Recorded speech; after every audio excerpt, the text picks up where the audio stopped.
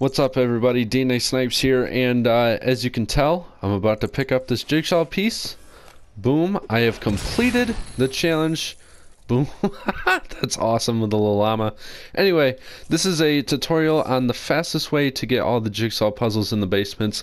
It's the final challenge for uh, week 10, and if you're like me, you like to grind it out and get all those challenges done for the XP and just to look like a beast. So, fastest route, and uh, you can probably get this done in like one or two matches, honestly. But uh, what you want to do is it's going to be in the basement of this house right here in Snobby Shores. Second one is going to be in the basement of this place right here. And then you're going to want to go into the big old burger place right down there in the basement is going to be the third one. Then you can hop over to Salty Springs in the basement of this place is going to be one. And over here in Retail Row in the broken house is going to be one down there. And obviously where I just picked up one, there's one there. That's six.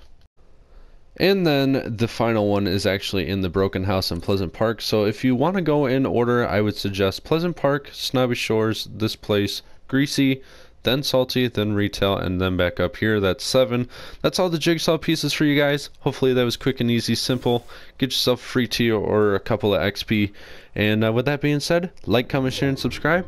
I'll see you next time. Peace out.